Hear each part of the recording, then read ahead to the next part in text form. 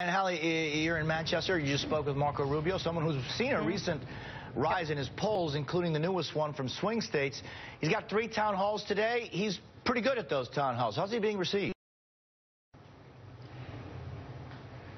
Very well, Jose, frankly. Yeah, he is really relaxed at these town halls. He interacts with folks. He gets a lot of questions. He answers them. He also asks a lot of questions. Uh, so you see sort of a very, uh, a very charismatic Marco Rubio at events like these. In New Hampshire in particular, he drew about 200 people to a house party last night. These are not, you know, Donald Trump-sized crowds. They're not Bernie Sanders-sized crowds, but they are where the campaign wants them to be at least this early in the race. October, obviously, they have several months to go. They talk about this, as several campaigns do, as a marathon, not a sprint. They know that they are in it for the long haul. Rubio really focusing on those four early states, including New Hampshire. He's in Nevada tomorrow, then back here in the Granite State after that. You talked about this surge, Jose, and that's true. In the recent polls, you've seen him up in the top three, the top four, even higher in some states. And Florida is really an interesting case, given that is where he will be up against his former mentor, Jeb Bush.